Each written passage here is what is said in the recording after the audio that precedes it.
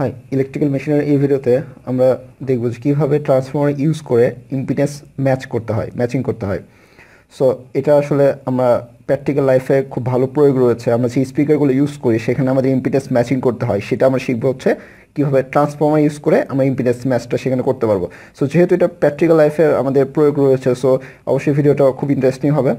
আচ্ছা তো আমরা দেখতে পাচ্ছি এখানে আমাদের একটা এসি ভোল্টেজ সোর্স রয়েছে, এখান থেকে আয়ন কারেন্ট পাস হচ্ছে এবং এখানে E one induce voltage create হচ্ছে এবং এই পাশে E two induce voltage create হচ্ছে এবং এ পাশে একটা লোড রয়েছে সেটা রেজিস্ট্যান্স দেখা যাচ্ছে, আর এবং এই লোডের মধ্যে R two I two current pass হচ্ছে।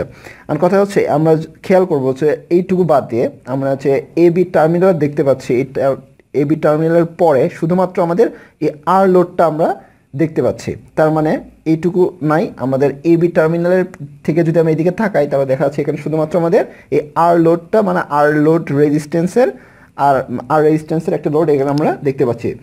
তাহলে আমরা সিম্পল একটা জিনিস শিখে নিই যে কোন একটা সার্কিটের রেজিস্ট্যান্স আমরা কীভাবে নির্ণয় করতে পারি। তাহলে ওই সার্কিটের অ্যাক্রসে আমরা একটা ভোল্টেজ দিব এবং তার মধ্যে দিয়ে কী পরিমাণ কারেন্ট যাচ্ছে, সেটা মেপে আমরা তার রেজিস্ট্যান্সটার মানটা নির্ণয় করতে পারব। ঠিক এই যে আমরা অ্যামিটার ইউজ করি, অ্যামিটারও সেম কাজটাই করে। অ্যামিটার কোনো একটা সার্কিটে বা কোনো একটা রেজিস্ট্যান্সের অ্যামিটারের দুই প্রান্ত যখন আমরা ধরি, তখন অ্যামিটার কী করবে?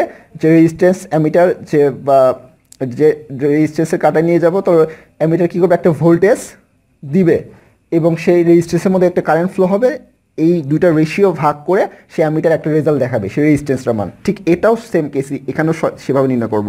তাহলে এই এবি টার্মিনাল এই পাশে কি ই টু ভোল্টেজ প্রয়োগ করবে এবং তার মধ্যে আই টু কারেন্ট পাস হচ্ছে, তাহলে এটা রেজিস্ট্যান্স কত হবে? ওহমের সূত্র অনুযায়ী E two divided by I two equals to R তাহলে এই আর এর মানটা আমরা পেয়ে গেছি। এখন কথা হচ্ছে এটা, যে আমরা এই এ বি তো এর পাশে আর রেজিস্ট্যান্স দেখা যাচ্ছে, তাহলে আমরা যদি এই পাশ থেকে তাকাই, এই পাশ থেকে যদি তাকাই, তাহলে কত রেজিস্ট্যান্স দেখা যাবে? এটা কি সেম আরই দেখাবে না চেঞ্জ দেখাবে? এটা আমরা এখন ক্যালকুলেশন করব। এই জিনিসটা আমরা একটু বুঝব। তাহলে এইটার মান আমরা কি পাচ্ছি যে এখান থেকে E one divided by I one equals to এই পাশের রেজিস্ট্যান্সটা ঠিক আছে? এই এই পাশের রেজিস্ট্যান্সটার মান আমাদের জানা নাই। মানে এটা আমরা জানি না, এটা আমরা বের করব। কীভাবে বের করতে পারি? আমরা রেশিও জানি। রেশিও সূত্র হচ্ছে, আমরা জানি হচ্ছে E one by I one E one by E E one by E two equals to N one by N two সেখান থেকে আমরা লিখতে পারি ই টু সমান সমান লিখতে পারি N two by N one E one এটা লিখতে পারি। ঠিক আরেকটা রেশিও আমরা মান তাহলে এটা আমরা জানলাম। সে ই টুর মানটা এখানে বসাই দিব। আবার আমরা জানি কি? I one by I two equals to N two by N one সেখান থেকে আমরা আই টু সময় লিখতে পারি। N one by N two এটা আমরা আগের ভিডিওতে দেখছি কীভাবে এটা আসে। সো এই দুইটা মান যখন আমরা এখানে বসাই দিব, তাহলে তো আমরা এই এখান থেকে আমরা আর এর মানটা এই পাশে রেজিস্ট্রেস কত দেখাবে সেটা বের করতে পারব। তাহলে এখানে আমরা মানগুলো ইনপুট করে দিই। আচ্ছা তো আমরা বের করব হচ্ছে E one by I one আমরা কি জানলাম? যে এটা এটা মানটা বের করব। তাহলে সেখান থেকে আমরা ই টু এবং আই টু বের করে নিলাম এবং ই টু আই টুর মান এখানে বসাই দিলেই আমরা দেখি E one by I one পাওয়া যায় কি না তাহলে E two by I two equals to আমরা জানি হচ্ছে আর তাহলে ই টুর মান পাইলাম হচ্ছে N two by N one into E one divided by I টুর মান পাইলাম হচ্ছে N one by N two into I one equals to জানলাম আর এখান থেকে আমরা লিখতে পারব হচ্ছে E one by I one সমান আমরা লিখতে পাচ্ছি হচ্ছে, এবার শুধু এটা নিয়ে যাই, তাহলে R into N one by N টুর উপর স্কোয়ার ওয়াও তার মানে এখানে আমরা দেখতে পাচ্ছি যে আমাদের রেজিস্ট্যান্সের মানটা চেঞ্জ এখানে ছিল হচ্ছে, তাহলে ই ওয়ান বাই আর সমান আমরা পাইলাম হচ্ছে এন ওয়ান বাই এন টুর উপর স্কোয়ার ইন্টু আর ওয়ান তার মানে এই পাশ থেকে রেজিস্ট্যান্স দেখা যাচ্ছে আর কিন্তু এই পাশ থেকে তাকালে রেজিস্ট্যান্স দেখা যাচ্ছে চেঞ্জ তার মানে আমাদের ইম্পিটেন্স তো মিলতেছে না। মানে এ পাশ থেকে একটা রেজিস্ট্যান্স দেখা যাচ্ছে, এখান থেকে একটা রেজিস্ট্যান্স দেখা যাচ্ছে। তাহলে এটাকে আমরা ম্যাচ করব কীভাবে? এবং এটার প্র্যাকটিক্যাল মানে ইউজটা কি? প্র্যাকটিক্যাল কীভাবে ইউজ করা হয়? সেটা এখন আমরা দেখব। ওকে তো আমরা বাজারে ওয়ান ওহম রেজিস্টর রেজিস্ট্যান্স এবং এর মান। ওকে তো আমরা বাজারে ওয়ান ওহম এবং একশো ওয়াট। এই রেটিংয়ের রেজিস্ট্যান্স আমরা পাবো। কিন্তু যদি বলা হয়, না, আমাদের একশো ওহম রেজিস্ট্যান্স লাগবে এবং তার পাওয়ার হইতে হবে হচ্ছে একশো ওয়ার্ডের তাহলে আমরা এটা কই থেকে পাবো? এটা তো বাজারে অ্যাভেলেবল না।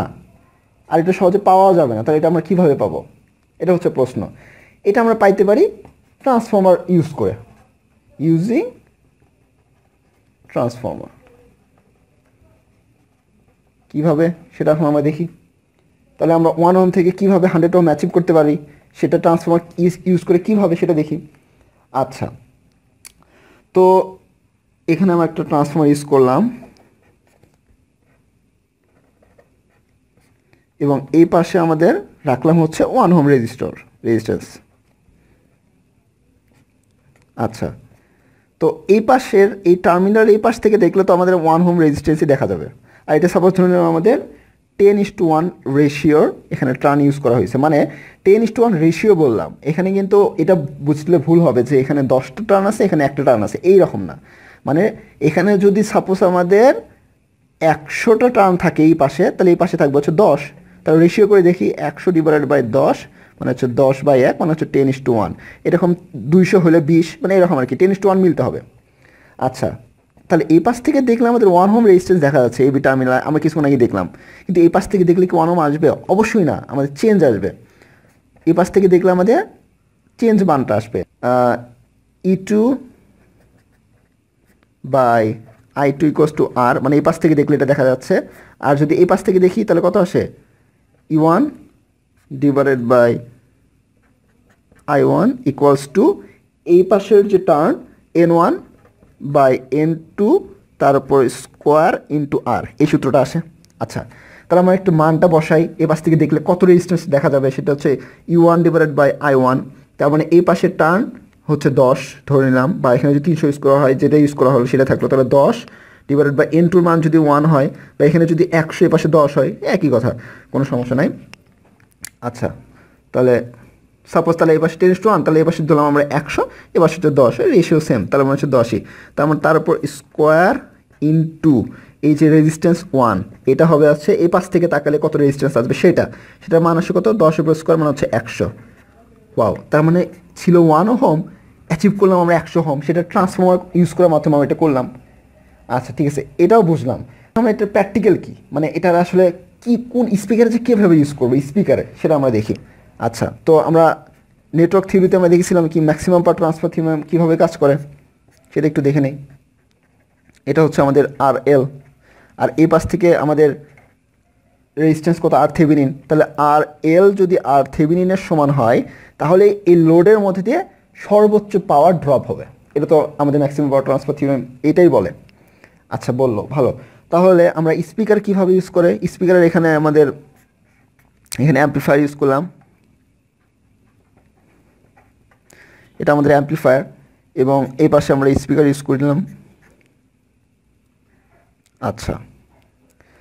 তো, এখন আসলো আমাদের মেইন টপিক আমরা যে হেডফোনগুলো ইউজ করি, হেডফোনের ওই যে ভলিউম যে আমরা চেঞ্জ করি সেখানে সেখানে আসলে কি অ্যাম্পলিফায়ার ইউজ করা হয়? এরকম আমরা অ্যাম্পলিফায়ার আরও ইউজ ইউজ হয়, সেটা আমরা দেখি। তখন কথা হচ্ছে যে, এই স্পিকারের রেজিস্ট্যান্স থাকে কম। আট হোম ষোলো হোম চব্বিশ হোম মানে এই রেটিংয়ের নির্দিষ্ট রেটিংয়ের মধ্যে বাজারে স্পিকার পাওয়া যাচ্ছে। কিন্তু এই অ্যাম্প অ্যাম্পলিফায়ারের যে রেজিস্ট্যান্স আছে, সেগুলো সাপোজ ধরে নিলাম আমাদের আটশো মানে বেশি। তাহলে আমাদের তো এই, এর মধ্যে ম্যাক্সিমাম পাওয়ার ড্রপ হইতে হবে। তাহলে তো আমরা শব্দ জোরে জোরে শুনতে পাবো বা আমাদের শব্দ শুনতে হবে, ভালো? মানে এখানে আমাদের ম্যাক্সিমাম পাওয়ার ড্রপ হইতে হবে। তাহলে তো আমাদের স্পিকারে জোরে শব্দ শুনতে পাবো। তাহলে আমরা যদি এই আর এল এই লোডটা যদি এই আটশো সমান না হয়, তাহলে আট যদি আটশো সমান না হয়, তাহলে তো এর মধ্যে ম্যাক্সিমাম পাওয়ার ড্রপ হবে না। তাহলে আমাকে অ্যাচিভ করতে হবে আট থেকে আটশো হোম রেজিস্ট্যান্স তাহলে এটা কীভাবে করব? এটা করব হচ্ছে আমরা ট্রান্সফর্মারের মাধ্যমে। তাহলে এই ইম্পিডেন্সটা ম্যাচিং করার জন্য আমরা মাঝখানে একটা ট্রান্সফর্মার ইউজ করব। ঠিক এইভাবে।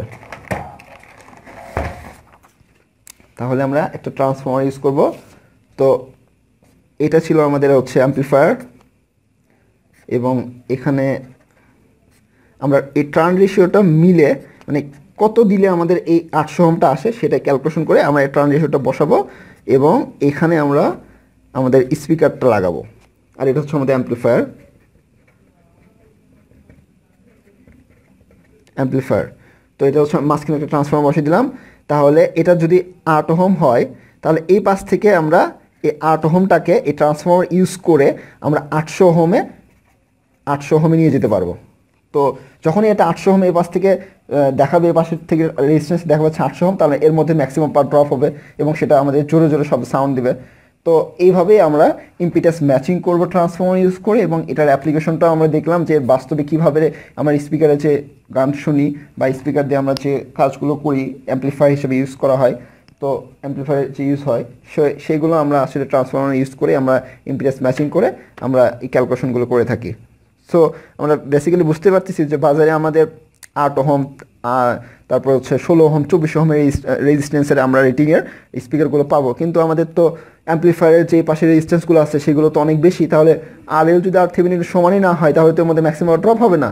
আর সেটা সমান করার জন্য আমরা মাঝখানে একটা ট্রান্সফর্মার ইউজ করলাম। ওকে সো আমরা আশা করি বুঝতে পারছি জিনিসটা। সো নেক্সট টাইম আমরা অন্য টপিক নিয়ে আলোচনা করব। Thank you